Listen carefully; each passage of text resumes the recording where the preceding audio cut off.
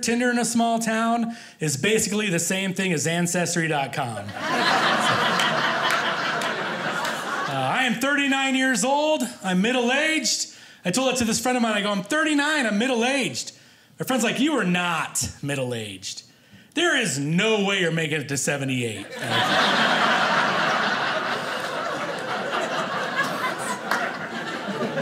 like 58 tops is really as better. I tried growing one of those chin strap beards, you know, but I had a hard time deciding which chin to put it on.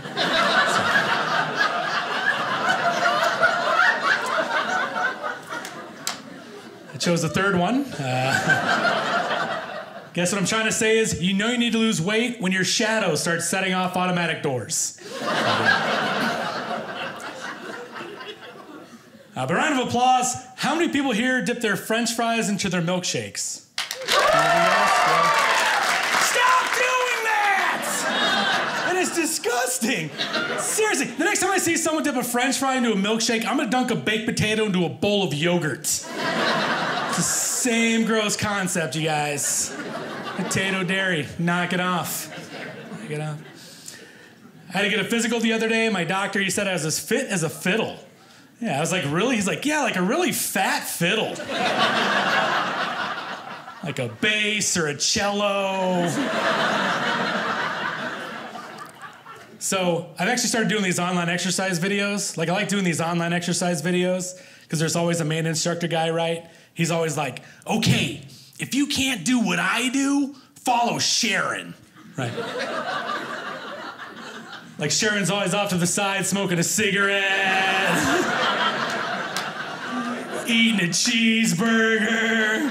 I'm following Sharon. Uh, a few months ago, I've actually started a I started a diet program, just doing uh, calories in, calories out. And I'm down about 40 pounds in a few months. Thank you. And uh, take that. It's weird whenever you try to lose weight, like your friends will always give you the worst advice you've ever heard in your entire life, right? Like one friend of mine's like, "Oh, you should do intermittent fasting." And I'm like, "What's that?" He's like, "Oh, intermittent fasting's great. You can eat whatever you want between the hours of 10 a.m and 10:01 a.m.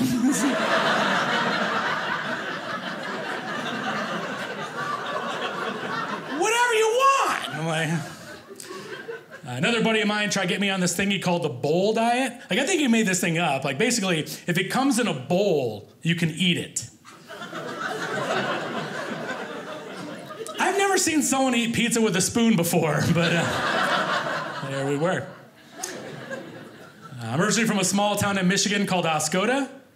That's the appropriate response. I hadn't heard of it either. That's a, that's a really small town. Like the dating app Tinder, Tinder in a small town is basically the same thing as Ancestry.com.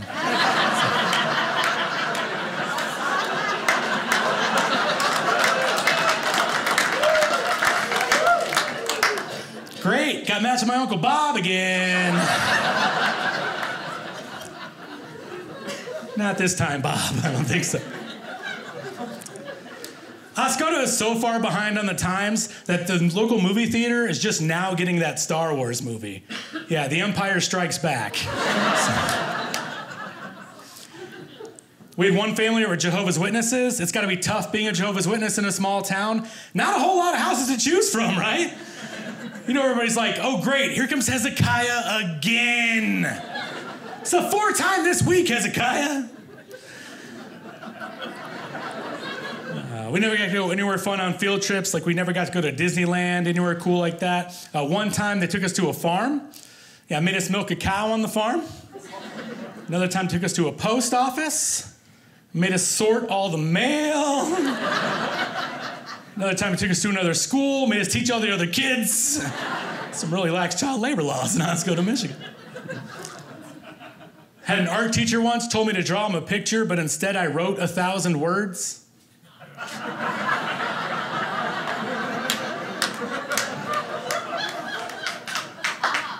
Apparently, it doesn't go both ways. Uh, he then drew me a picture of the letter F. That's what he did. Uh,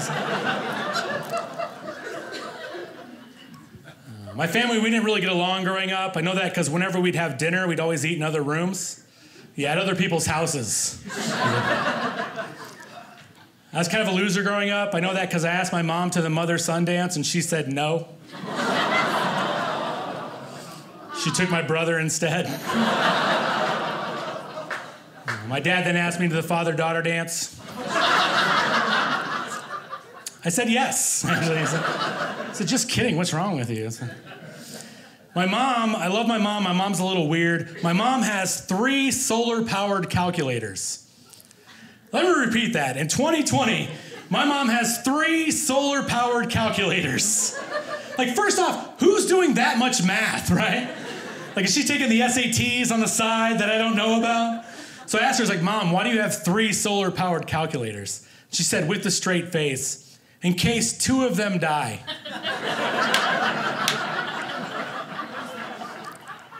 Mom, if two solar powered calculators die, we have a much bigger problem on our hands. it means the sun has been blotted out from existence, Mom. She said, by my calculations, that won't happen for another 4.5 million years. my brother and I, we used to play cowboys and Indians when we were kids. He'd always be Emmitt Smith, I'd be Deepak Chopra.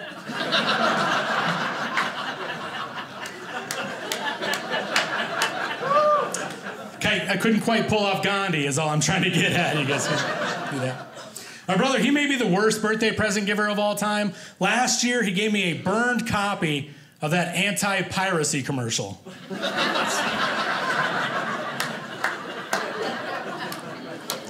year before that, he got me a ringtone for my birthday. He got me the theme to Jeopardy, which really wasn't that great because I only had like 30 seconds to answer the phone. You know? At least I always answered in the form of a question What is hello? So, my dad and I, we had kind of a strained relationship when I was a kid. I know that because whenever I was on the playground and a kid would come up to me and say, "My dad could beat up your dad," I'd always say, "Here's my address. He gets home at 5:30." Let's do this thing.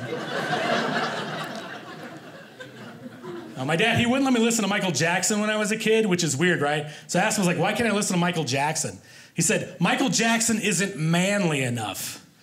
I'm like, what do you mean not manly enough? He said, don't worry about it. You go back in your room and you listen to Queen and Elton John like a man.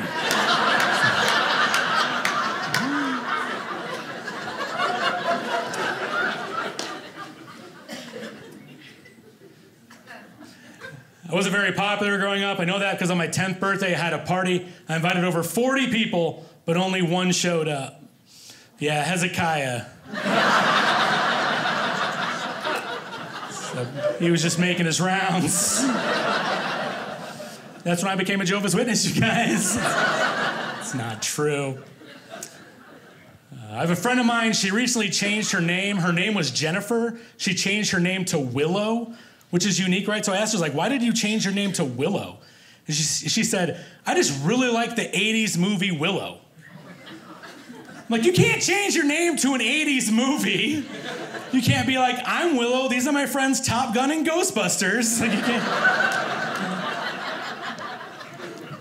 She's also the type of person who like messes up catchphrases. She's always off by a little bit. You guys have one of these friends in your life that just can't get a catchphrase right? She's always like, bye, Felicity.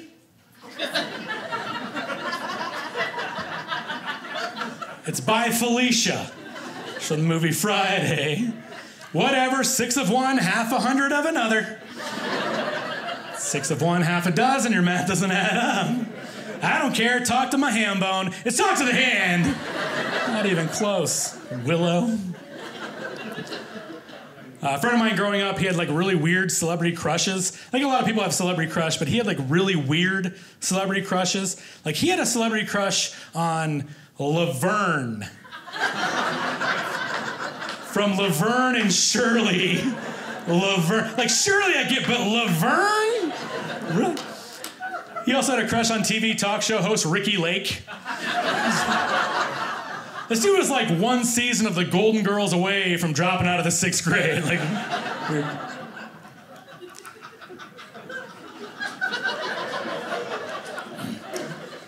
I have a coworker of mine. She told me she only smokes when she drinks which is weird because she was on her smoke break when she said that.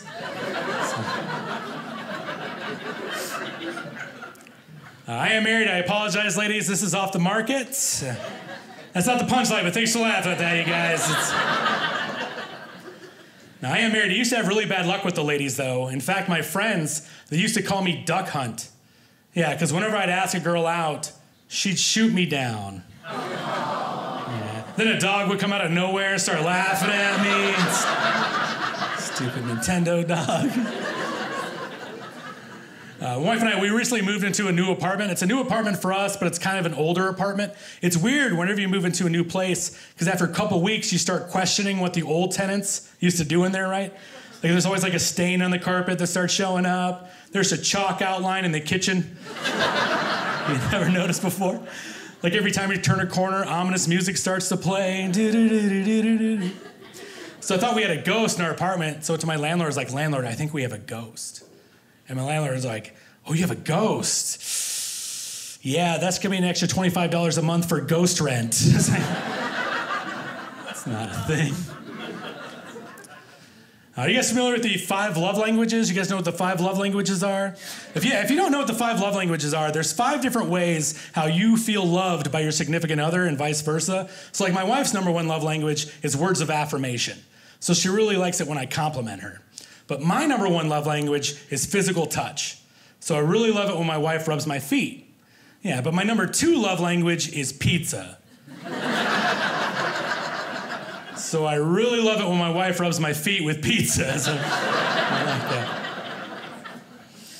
Uh, we have any married couples in the crowd? You guys married out here? Yeah. How long have you guys been married for? 20 years. That's not that long. Anyway, that's, that's pretty good. 20 years is a good amount of time. Now, my wife and I have been married almost 10 years. It'll be 10 years this year. And after a couple years, you're getting some really dumb arguments. Am I right? What's the dumbest argument you two have ever been in? Yeah, okay. You pretty much ignore it. So you just push it off to the side, right? So it doesn't happen, right? So my wife and I, we got into a really dumb argument. Uh, we got an argument when we moved into our new apartment. We got an argument over my alarm clock, of all things. It's like one of those first generation digital wood panel alarm clocks, you know? It's like I've had this alarm clock for over 20 years. I've only had my wife for like 10. That's, uh... So we get this really dumb argument. My wife wanted me to get rid of my alarm clock, and she said because it doesn't go with anything in our bedroom. I was like, it goes with my sleep pattern. Does that not matter to you at all? so we went back and forth about a half hour, 45 minutes arguing over an alarm clock. You know what, guys? Finally an argument, you guys. Yes, first man ever to win an argument, you guys. Yeah. Yeah. Yeah, I got to decide which new alarm clock we got for our bedroom. Coincidentally enough, it was the same one that she had wanted, but I won that argument. Uh, there's certain times in our lives where people just look dumb doing things. You can agree on that. You just look stupid. Uh, one of my favorite things is when you're about 10 feet away from a door and someone's holding the door open for you. We all do that little half run, half walk move. What is that? It's the same move you do when you're crossing the street, cars waving you across doing this. You do the little half run, half walk. I think if you don't make it within three seconds, they should legally be allowed to run you over. I did something stupid the other day. I was at Target with my wife shopping for a new alarm clock, and uh, now we were shopping for candles, and I came across a candle that read unscented on it. Yeah. So I picked it up and I smelled it because I wanted to know what unscented smelled like. And apparently it smells like stupidity and regrets. Uh, do you guys like really bad puns? Yeah, I think a lot of people like really bad puns. I've written four really bad puns. I hope you guys enjoy them. So these are my four really bad puns. Will I ever find a watch that's easy to read? Only time will tell. I asked a lady if she knew how much the hat she was wearing cost. She said, Not off the top of my head.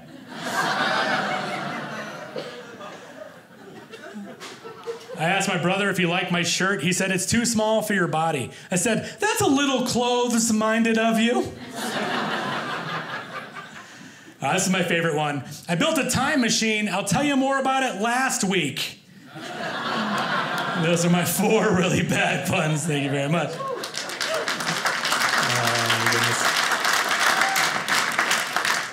I've done a lot of bad things in my life, like tell those last jokes, for instance. Uh, I've done a lot of bad things in my life. I have a lot of regrets. But if there is one thing that still haunts me to this day, it's ghosts. Please don't boo me, okay, you guys? Another $25 for ghost friends. And that is your fifth bad pun, you guys. Number five. Thank you very much. Oh, goodness. Uh, I am a jerk sometimes, though, I will admit it. I'll do things like I'll throw wadded up pieces of paper out on the freeway to community service workers. but it's cool, though, because I'll write, keep up the good work on them. And that's. I like to go to various beaches at night. I like to write, Will you marry me in the sand?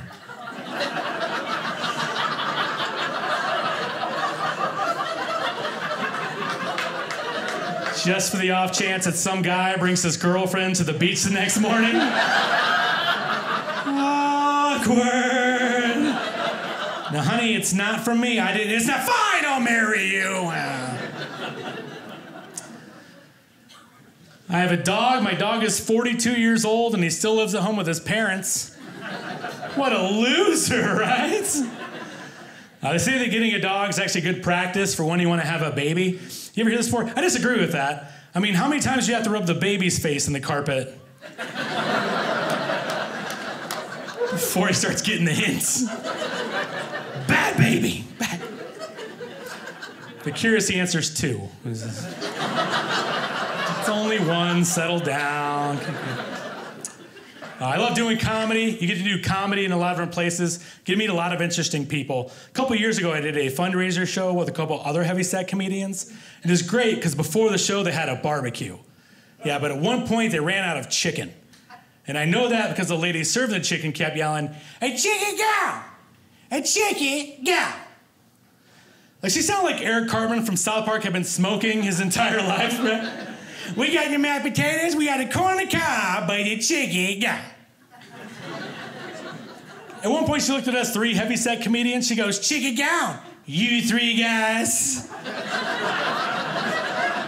like we kidnapped all the chicken, right? The best is the whole car ride back. We couldn't get this voice out of our head. So anytime a song would come on the radio, we'd incorporate "Chicken Gone" into the song. It's like our own little hashtag "Chicken Gone" challenge. So like John Cougar Mellencamp's Jack and Diane. Oh yeah, life goes on long after the thrill of that chicken gone.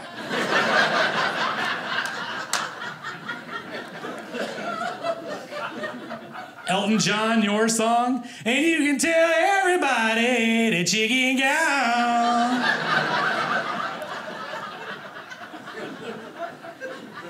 Uh, what about Steve Perry? He's the former lead singer of Journey. He had a song called Oh Sherrie.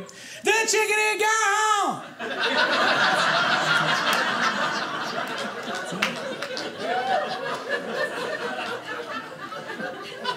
uh, my personal favorite, those Spice Girls, Wannabe. If you want to eat the chicken, gotta get with my hands. Chicken won't last forever, but handshake never ends. Stop everybody now, because the chicken chick gone.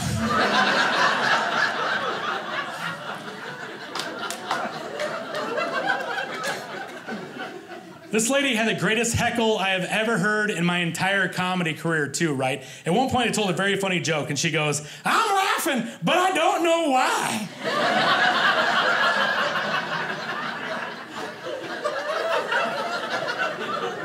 Maybe you got chicken poisoning. Maybe that's why you're laughing, ma'am. I don't know. Last weekend, I got to do comedy in a pizza place. Lifelong dream of mine, you guys. Yeah, the pizza there is pretty good too, but can we all agree there's some pizza places where the pizza is not good? Yeah, can we agree that Chuck E. Cheese pizza is not good? Yeah, I am pretty sure the main ingredient of Chuck E. Cheese pizza is foot. I'm pretty sure.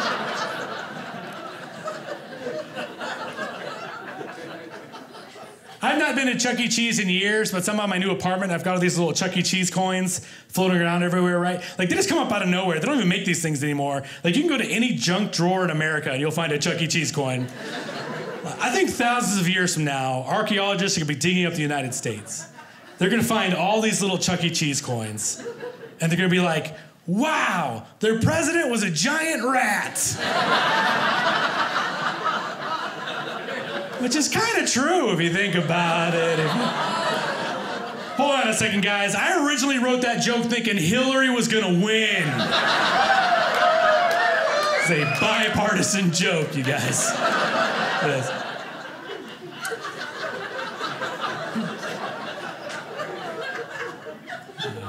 am a Christian. I'm not ashamed to admit that I'm a Christian. There's some things about being a Christian I like. There's some things that I don't like. One of the things that I don't like is this thing called a prayer circle. Now, if you're not familiar with a prayer circle, a prayer circle is this thing where people get around in a circle, they hold each other's hands, and they put their hands on each other's shoulders, and they usually take turns praying for someone. Like, I don't like it because I'm always the last person to go in the prayer circle, and I can never think of anything original when it's my turn to go, right? Like, everyone's always like, God, I just want to come before right now and just pray for Timmy to do well in school. Like I was gonna pray for Timmy to do well in school. That's my prayer. Next guy's like, God, I want to pray for Timmy's baseball team. I was gonna pray for Timmy's baseball team.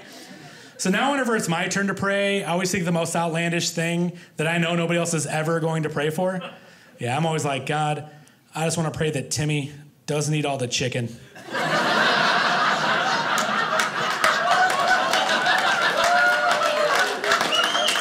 Danny chicken gal.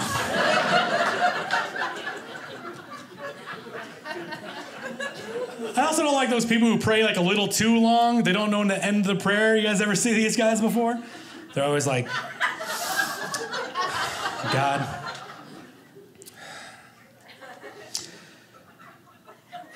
We come before right now, God.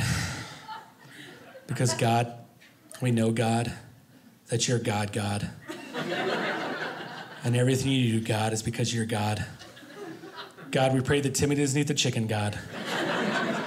We know that you're the great colonel in the sky, God. We pray this all in Jesus' name. Another prayer like to pray is for Timmy. Just end the prayer already! Would you?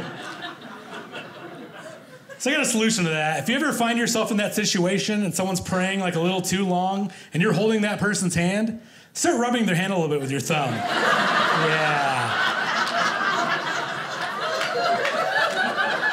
Hands on their shoulder, go for the earlobe. Works every time.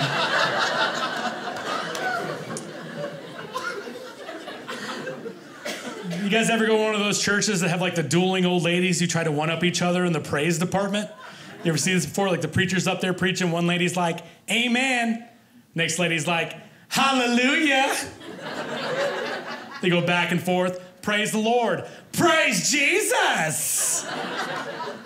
Finally, this lady's had enough. She goes, Hakuna Matata. Pretty sure that just means no worries for the rest of your days. What book is she reading from anyway? The Lion King James Version? And that is your one millionth pound, you guys. I am Brandon.